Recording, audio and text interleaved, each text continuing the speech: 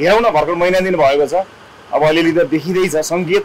बिहानी त देखिहाल्नु भएको छ तपाईँले मैले भन्नै पर्दैन। त्यस कारणले अहिले टिप्पणी गर्ने बेला अलि भइसकेको छ जनताले देखिरहेछ नि हामीले बोल्नै पर्दैन नि। जनताले बोलेको ठाउँमा हामीले त्यति बोलिरहनु पर्ने आवश्यकता अहिले छैन। मजाले हेरिरहेको छौँ। महिना दिन भएको छ। के भयो? कसो भयो? तपाईँहरूले पनि हेरिरहनु भएको छ होला। त्यस कारणले जनताले त- अहिले तयारीमा छ बाँकी बकौता तिर्नुपर्छ। त्यसमा कुनै इफ छैन कुनै बट छैन। हामीले सदनमा स्पष्ट रूपमा भनेका छौँ। आज पनि हामी यस यसबारेमा कुराकानी गर्नेछौँ। जसरी आम सर्वसाधारणले तिर्नुपर्छ नतिरिकन हुँदैन।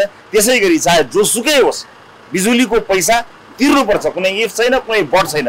यो कुनै प्रधानमन्त्रीले आदेश दिने कुनै मन्त्रीले आदेश दिने कुरा होइन। त्यो पैसाको तिर्नुपर्छ भन्ने कुरामा हामी स्पष्ट छौँ। मरिसकेको मान्छे भए पनि हदमात्रको कुरा छोड्नुहोस्। पाँच वर्ष मात्र होइन मृत्यु भइसकेपछि पनि सजाय सुनिआएको हुनुपर्छ। भ्रष्टाचारमा कुनै हदमात हुन सक्दैन। कुनै हदमात राख्न पाइँदैन कोही यो वर्ष त्यति वर्ष भन्ने होइन। जब थाहा हुन्छ भ्रष्टाचारीले मैले भने जीवनमा कालमा मात्र होइन। मान्छेको मृत्यु भइसकेको छ तर थाहा भयो भने पनि सजाय चाहिँ देशलाई जनतालाई थाहा हुनुपर्छ।